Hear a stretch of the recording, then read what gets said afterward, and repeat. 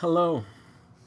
The following reflection is based on a passage from the book of Genesis, chapter 22, verses 1 to 14. Just want to let you know this is not an easy passage, especially for the Sunday that happens also to be Father's Day Sunday. So let us take time to reflect together.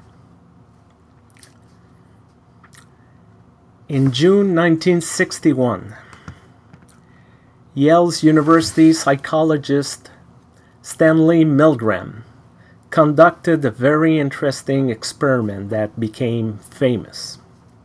In short, the participants who answered an ad in a local newspaper were told they were would be involved in an experiment on memory under the supervision of a man dressed in a white technician coat, like a scientist we see in movie.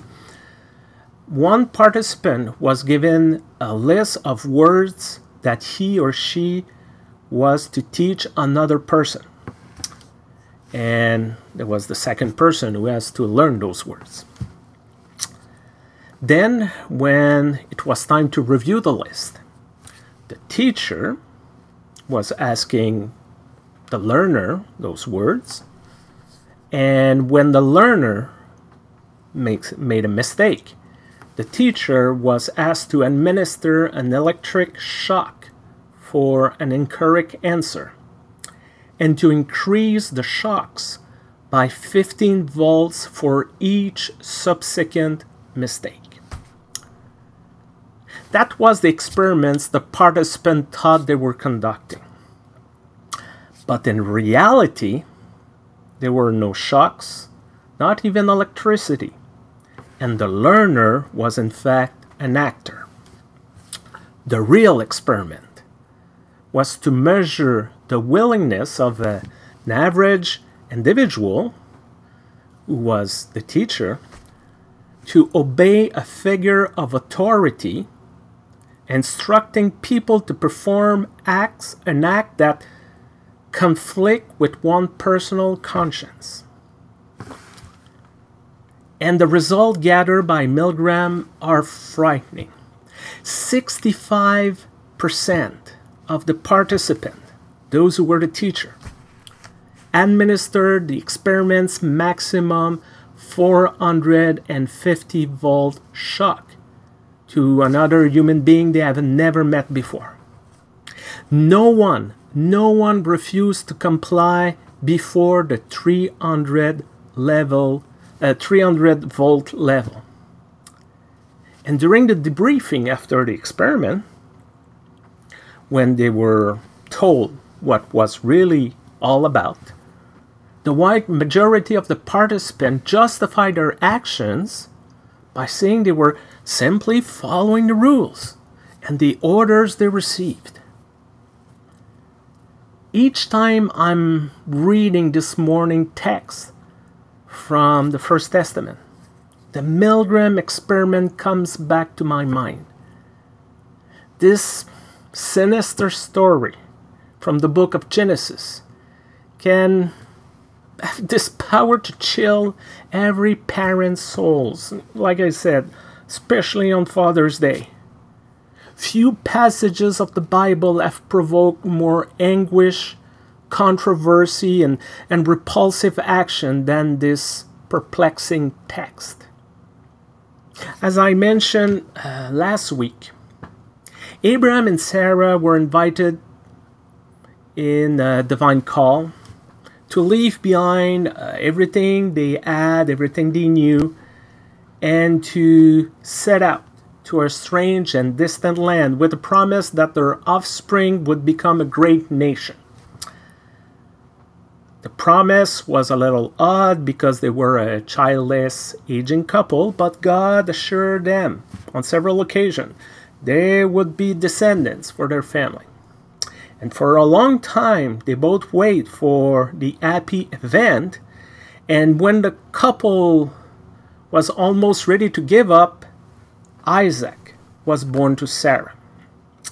And from that moment on, I'm sure Abraham and Sarah's life uh, was probably filled with joy and happiness until a voice from heaven, the text says, some translation says, calling Abraham by name, said, Take your son, your only son Isaac, whom you love, and go to the land of Moriah and offer him there as a burnt offering on one of the mountains that, uh, that I shall show you. In short, Abraham was ordered to take the gift he and Sarah received from God, the one they have hoped for so long, and to surround and surround, surrender him in a cruel way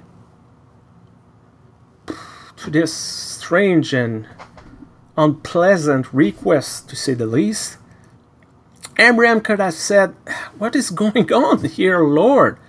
Why are you so cruel with us after all that we have done for you? There must be an error. Please, please reconsider what you are asking me to do. But nope, nope, nope, nope. As soon as the voice finished speaking, Abraham complies with the order without hesitation or asking any question. Abraham gets with the program without resistance, protest, or complaint.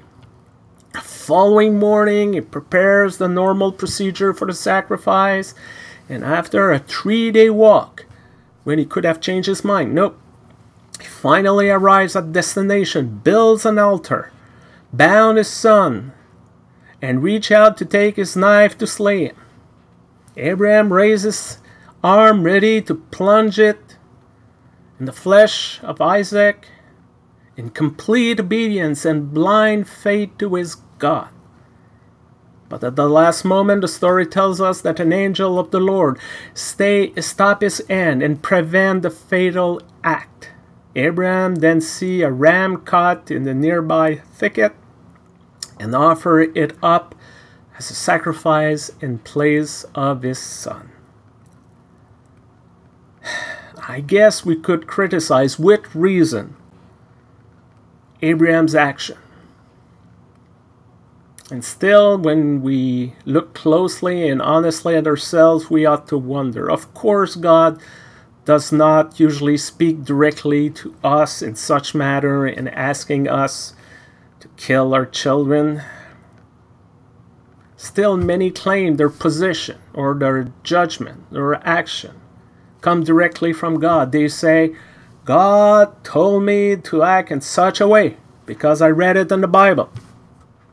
Women are just unfit for church leadership position traditionally held by men. Homosexuals are a bunch of sinners that deserve to be punished if they do not amend their ways. Everybody who's not a Christian and a Christian like me need to be converted or they will be damned for eternity. by holding this sort of discourse.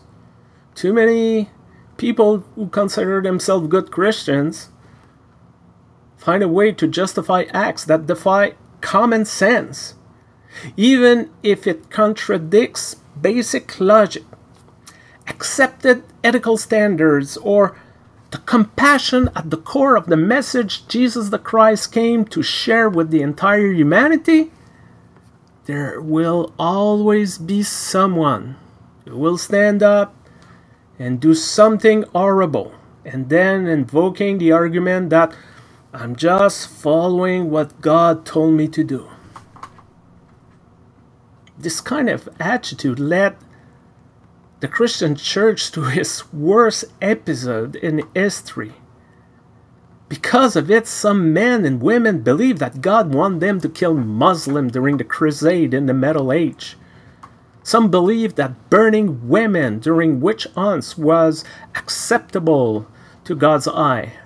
Some believe that the slaughter of millions of Jews during the Holocaust was part of God's great, uh, great plan for humanity. Some believe that the assimilation of the First Nation in America was required to build the kingdom of God.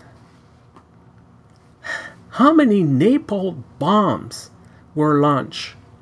Holy war began, interrogation by waterboarding or lynching, lynching committed simply because some believe that God told them to do it and never ask why or wonder if it was ethical.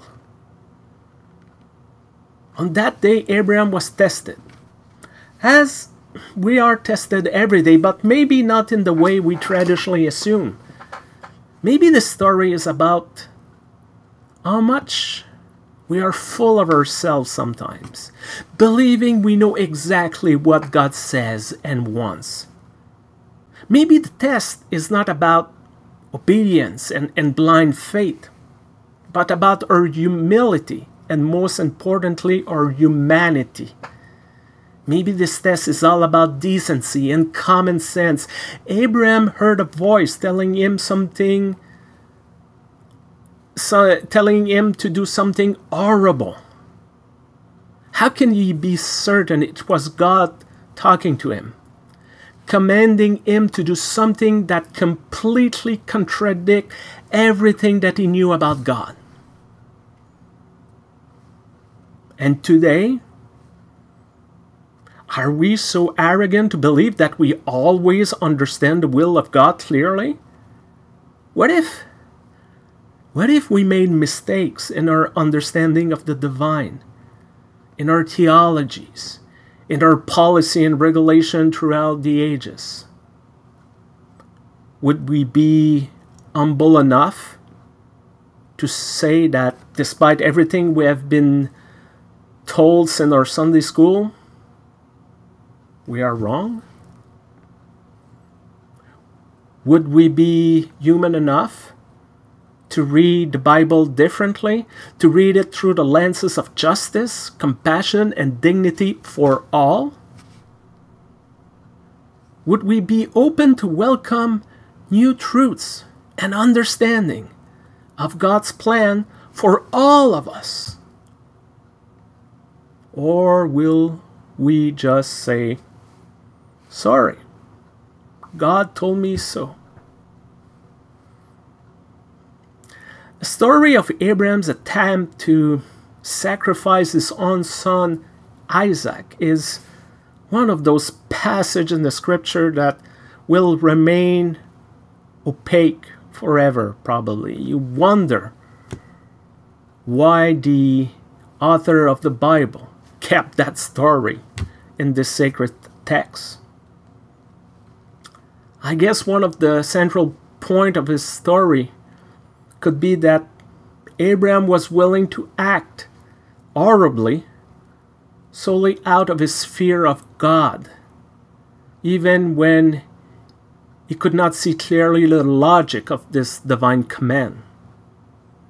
Sometimes simply following orders and rules is wrong because they have nothing to do with God's dream for humankind. When we are confronted with unjust rules, unethical requests, inhuman conditions, it's our duty as Christian to stand up, to say, this is not what God wants for humanity, for every one of us. It's our call to claim boldly sometimes this is enough. I will not comply. Thank you for being there. Thank you for watching. Thanks be to God and Amen.